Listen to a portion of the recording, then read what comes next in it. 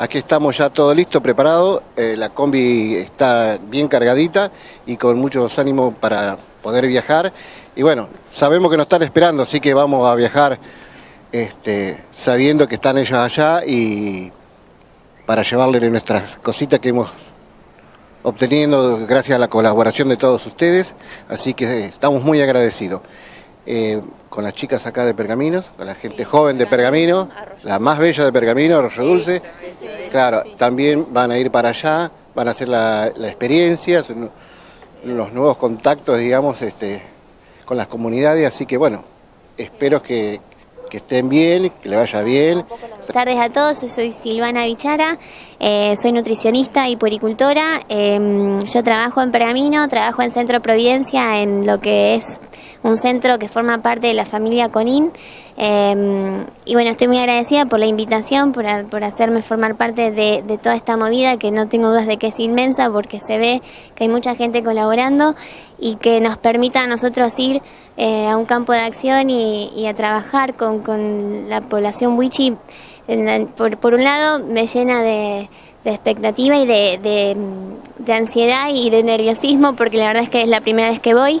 Eh, un poquito la idea de la mano de Graciela y los chicos, eh, lo que trata, vamos a tratar de hacer desde, desde el área de nutrición es charlar con ellos y poder, eh, con lo que tienen como ingredientes y alimentos básicos en su alimentación diaria, poder combinarlos de la manera de la mejor manera posible pensando en que se nutran un poquito más de lo que lo vienen haciendo. Eh, Mónica de Sanso, eh, es la primera vez eh, que voy a ir y agradezco también a los chicos que me han invitado.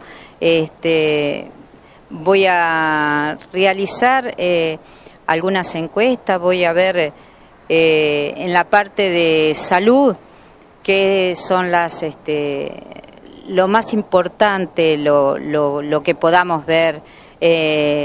Y bueno, espero que, que nos puedan este, acoger bien y nosotros este, tenemos tantas, tantas expectativas y tanto, tanta alegría que espero que, que sea un buen viaje para, para ellos y para nosotros. Bueno, buenas noches. Nosotros lo que vamos a tratar de hacer con Joel Núñez, que es el otro trabajador social que viaja, es tratar de recabar la mayor cantidad de datos posibles, bueno, para ver cuáles son las necesidades en cuanto a salud, en cuanto a alimentación, ver qué podemos paliar, ya que sabemos de que no vamos a poder con todo, pero bueno, tratar de poner un parche a esto que vienen viviendo ellos y bueno, y sumar nueva gente para la, para la vez próxima, que espero que sean muchas más.